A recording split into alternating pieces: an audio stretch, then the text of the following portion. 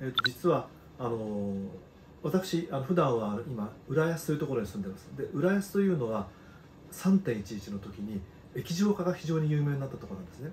でその時に分かったこととして実は水道の飲む水はすぐ来るんですよ。ところがですね、え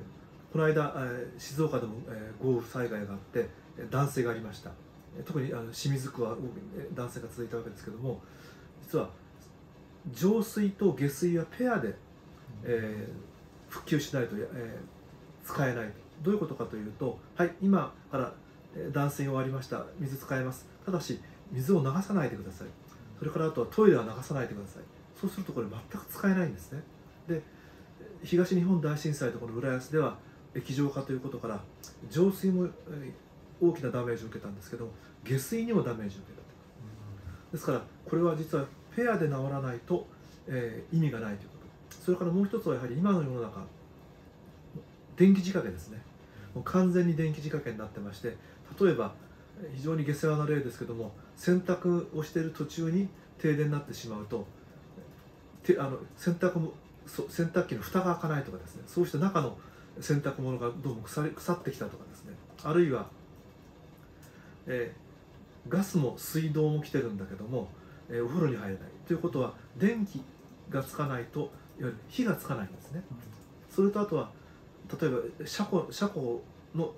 開けようとした時に車も大丈夫道路も大丈夫だけども停電してるとシャッターが開かないとかそういうこともありまして本当に今の世の中電気仕掛けということでやはり、えー、実際に浦安で3.11を経験してみてやはりその上下水道のことそれから電気のことで、えー、それからですね例えばあのあ私が今している一番のまあ備蓄といいますか食べるものはこれ生き残らないと食べられない。そのことからまず水は大事ですね。で特にあのペットボトル等で備蓄することもいいんですけども一番いいのはやはりあのお風呂にはこれ150リッターとか200リッターの水がありますのでこれをお風呂が入る前に水を落とす。でそうしますと生活用水としても使えますしやはりあの水の確保ということとあとはあの、まあ、トイレとかですねそういうことが必要で実は食べるものというのは冷蔵庫の中とか備蓄で意外とあるんですよ。冷蔵庫の中のものを全部食べるっていうのはなかなか大変なので